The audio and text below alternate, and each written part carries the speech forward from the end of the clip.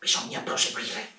Queste sono cose che si pensano ma non si dicono. Tutto esaurito al piccolo teatro Orazio Costa di Pescara per il reading a cura dell'attore e regista Domenico Galasso, tratto da Carbonio, dal sistema periodico di Primo Levi, con introduzione a cura del professor Stefano Redaelli, dell'Università Artes Liberales di Varsavia.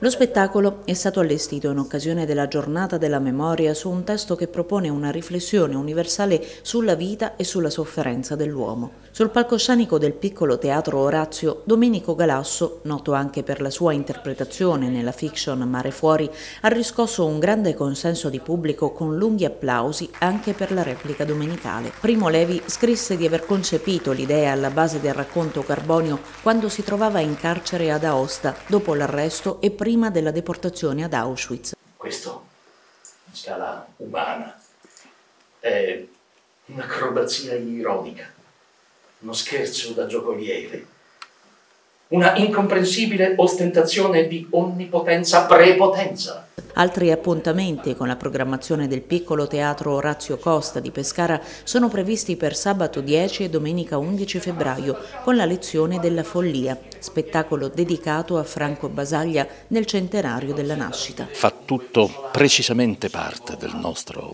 eh, progetto che si chiama il teatro delle parole.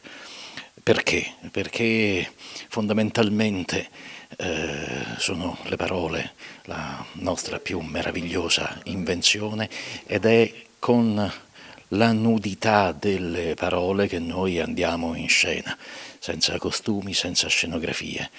Stefano Redaelli, scrittore e docente, qual è secondo lei la più grande lezione di Primo Levi dal punto di vista linguistico ma anche di struttura dei romanzi e delle opere? La lezione di Levi è quella di chi eh, travasa il suo mestiere di chimico, cioè l'arte di pesare, separare e distinguere nella letteratura, di chi fa uh, della chimica un patrimonio immenso di metafore, una lunga ombra simbolica, di chi usa la chimica come un filtro per raccontare l'indicibile per raccontare il lager e la, e la, chimica gli permette di trasformare questo racconto in uno studio pacato su alcuni aspetti dell'animo umano. Ecco, forse questa è la sua grande lezione, essere al contempo uno scrittore, un letterato, avere Dante dentro di sé e avere la chimica che gli consente anche di trovare una distanza, un filtro, un modo di raccontare un'esperienza indicibile attraverso la metafora, la prospettiva dell'esperimento.